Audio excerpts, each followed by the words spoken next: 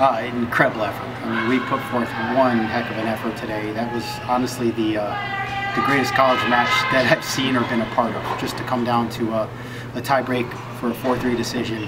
Um, it was a tough way to go out. We worked really hard. We played great, and the other team went on. This, this senior class has been amazing. Um, having them for the last, you know, for me having them for the last three years, and, and the growth that I've seen on, out of them but more importantly, the direction that they took the team. Uh, without the, the, three seniors that I have and the transfer of Jonas coming in, it's really elevated us to another level. And I feel that it's in large part due to the graduating senior class that we have right now. They've set the standard for what Quinnipiac tennis is going to be, and it was a, truly a pleasure to have each of them. Just a will to win.